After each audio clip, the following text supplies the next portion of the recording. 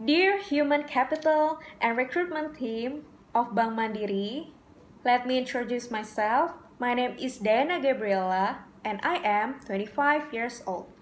I am a fresh graduate from Master of Management Universitas Gadjah Mada majoring in Financial Management. In this video, I would like to tell you about one of my biggest achievements and how that shaped me. The biggest achievement I have ever achieved is I could complete my thesis to attain my master's degree. During my master's degree program, I faced many challenges because the major I chose was different from my previous major when I was still in my bachelor's degree, which was marketing management. Because of that, I had to be able to adapt quickly to the new environment so I could follow the learning process. I studied harder to deepen my insight and knowledge about financial management.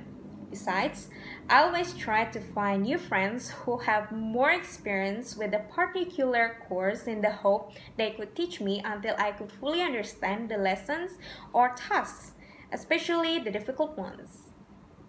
Those challenging moments have shaped me to become a better person.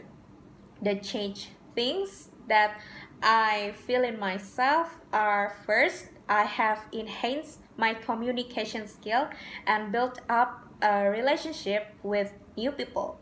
Second, I can uh, manage my time by prioritizing which task or project I have to finish at the time and the next day, from the easiest to the hardest ones. And third, I also become more creative because I always train myself to think critically to solve a problem and find more inspirations.